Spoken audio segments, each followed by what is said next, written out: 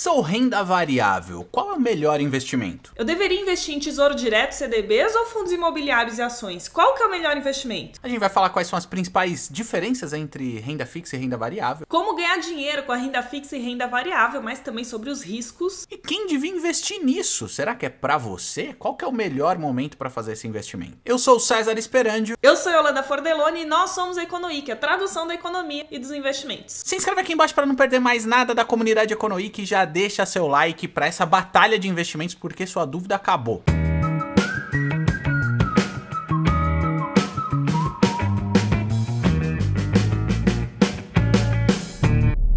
Econoiker, tranquilo? Comigo tá tudo ótimo, mas a gente tem que começar batendo um papo sobre renda fixa e renda variável. Ioiô, o que, que você prefere? O que, que mora no seu coração? Olha, renda fixa mora no meu coração, são longos anos aí de relacionamento, mas vou confessar que eu invisto nos dois hoje em dia. Eu também invisto nos dois, mas eu tenho mais carinho pela renda fixa e eu acho que o percentual da minha carteira deve estar tá aí na casa dos 60% de renda fixa, mas cabe até um outro vídeo, né? Pra gente falar das nossas carteiras qualquer hora. O que, que você acha? Comenta aí embaixo. Vamos para as definições. Para começar, o que é renda fixa e renda variável? Na renda fixa, na prática, você está emprestando dinheiro para uma outra pessoa, tipicamente bancos ou o próprio governo, que se comprometem a devolver sua grana numa data futura combinada com uma rentabilidade também combinada. Mas banco precisa de dinheiro? Sim, porque eles precisam emprestar para ganhar mais dinheiro. E para isso eles te pagam juros, ou seja, você vai ganhar juros e não pagar juros, que é o que acontece se você pegar algum dinheiro emprestado. Retomando, a renda fixa é um tipo de aplicação, um tipo de investimento que você combina na hora da aplicação as condições do seu investimento. Então você já sabe a taxa de rentabilidade, você já sabe quanto tempo seu dinheiro vai ficar investido e com todas essas informações você consegue fazer uma previsão de quanto seu dinheiro vai render ao longo do tempo. Aliás, essa previsibilidade da rentabilidade é o que atrai muita gente que está começando no mundo dos investimentos. E foi por onde eu comecei, na renda fixa. Eu acho que a Yoyo também, mas quem pode dizer isso melhor é ela. Foi por onde eu comecei também, a famosa caderneta de poupança não é lá essas coisas, mas já é uma renda fixa, né? Sim,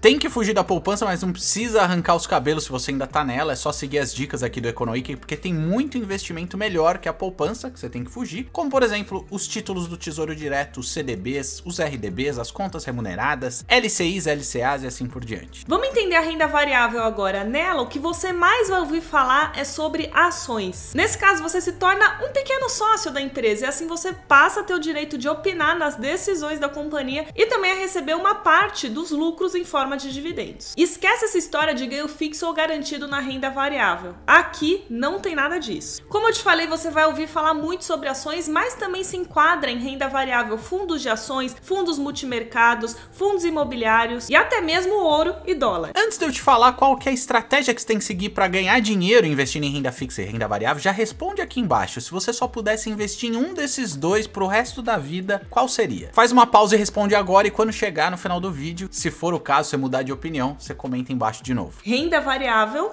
Varia. Com certeza você já ouviu falar nessa frase, mas não é daí que vem o nome. Você sabia disso? De fato, os preços sobem e descem. A estratégia na renda variável é você comprar na baixa e vender na alta quando o preço da ação já tiver subido. Mas não é a única maneira de você ganhar dinheiro com isso. Quando você compra uma ação, um fundo imobiliário, você vai receber uma participação no lucro dessa aplicação. Pode ser em forma de dividendo, de juros sobre capital próprio, de dividendo de fundo imobiliário, mas nenhum desses ganhos é garantido garantido, porque pode ser até que a empresa tenha prejuízo. E pode ser também que os ganhos mudem conforme o ano. E é essa rentabilidade que é variável. Na renda fixa, ao contrário, a lógica é a de um empréstimo, mas não é você que está pegando dinheiro emprestado, é você que empresta para outra parte, tipicamente um banco ou governo, como a gente falou, e recebe o juro em forma de rentabilidade combinada. A rentabilidade ela pode ser pré-fixada, ou seja, na hora que você investe, você já sabe qual vai ser o rendimento, ela pode ser pós-fixada, tipicamente atrelada a Selic, ao CDI CDI ou ao CDI, ou pode ser híbrida, misturando um pouco dos dois. Quer ver um exemplo disso aplicado ao Tesouro Direto? Corta para a tela aqui. O Tesouro pré-fixado, que são os três primeiros, você já sabe a rentabilidade aqui na segunda coluna, 9 ou 10% ao ano. O pós-fixado, que é o Tesouro Selic, que ele vai te pagar a Selic vigente no momento, mais uma rentabilidade bônus aí combinada. Na verdade, ele já está aplicado ao híbrido, porque tem um componente pré-fixado fixado, e o Tesouro IPCA, que também tem um bônus bem gordinho acima da inflação, você só vai conhecer no futuro, que é o componente pós-fixado. No quesito volatilidade, a renda variável tem muita mudança. Os preços, como você deve imaginar, mudam a todo momento e dependem de decisões do governo, expectativas para o setor e até mesmo de decisões dos próprios gestores que podem afetar o valor dessa empresa. Na renda fixa, se você pensou que não tem volatilidade, você se enganou, mas ela é muito menor, ela é de baixa média. E para quem fica até a data do vencimento combinada, não tem essa porque você vai receber a rentabilidade combinada sem tirar nem pôr. Para quem quer se desfazer antes, vender o título, aí sim tem uma volatilidade menor do que da renda variável, mas você pode inclusive ter prejuízo ao vender seu título antes, então fica atento. Mas e os riscos, em que você tem que olhar com carinho na hora de investir? Na renda fixa, eles são bem baixos. O Cezida já comentou que se você ficar até o vencimento, não tem risco de você não receber o combinado. E na maioria das rendas fixas tem ainda a cobertura do Fundo Garantidor de Crédito, FGC. Se você investir até 250 mil reais na instituição financeira e ela tiver um problema, você tá coberto. O CDB é um exemplo de renda fixa que tem essa cobertura e a gente comentou, fez até simulação nesse vídeo que aparece aqui, para você entender como é que vale a pena você ir para essa aplicação. Na renda variável, o risco não é altíssimo, mas ele é de médio para alto dependendo da sua estratégia e de onde você investir. Tem até a possibilidade de você perder toda a sua grana se, por exemplo, a empresa que você comprou uma ação ela for a falência. E como a gente já falou, a distribuição de lucro é incerta porque depende da empresa dar lucro. Falando de lucro, na renda fixa ele é de baixo a moderado. Aqui no Brasil ele acaba até sendo bem considerável. Em algumas aplicações a rentabilidade chega a passar de 10% ao ano. Cara, é bem difícil achar isso em outros países. Na renda variável, o potencial de lucro é muito maior, mas o potencial de preju também é maior do que na renda fixa. Por conta disso, são sim investimentos de maior risco. E quem que deveria investir em cada coisa? A renda fixa serve para todo tipo de investidor, do conservador ao agressivo.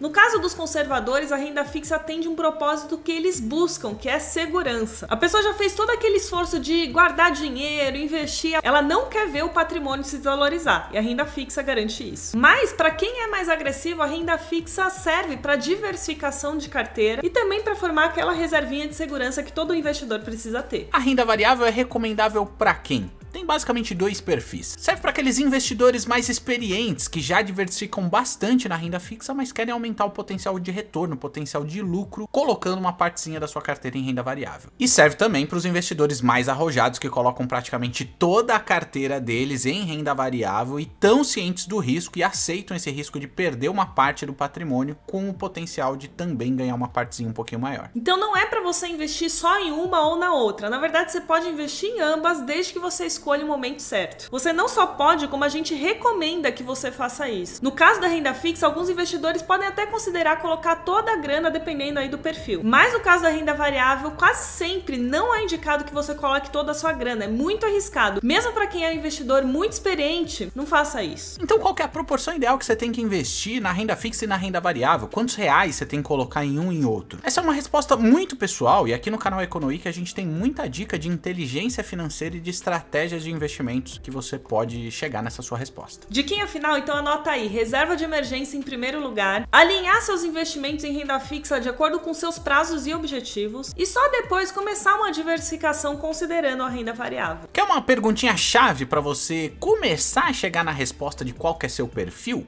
Imagina que você investiu em ações e de repente elas perdem 20% do valor de um dia para o outro. Você ia se desesperar e querer vender tudo com medo do prejuízo ser maior? Se a resposta for sim, talvez vale muito mais a pena você focar primeiro na renda fixa. E aí, será que você mudou de ideia? Se tivesse que investir só em renda fixa ou variável para o resto da vida, em qual que você investir? E para as duas você precisa de uma corretora, nem preciso falar disso. Deixei um vídeo aqui do lado falando dos investimentos que rendem juros compostos comparado com a rentabilidade do juros simples e você tem que conferir isso aqui e já aproveita e se inscreve aqui do lado. Até a próxima.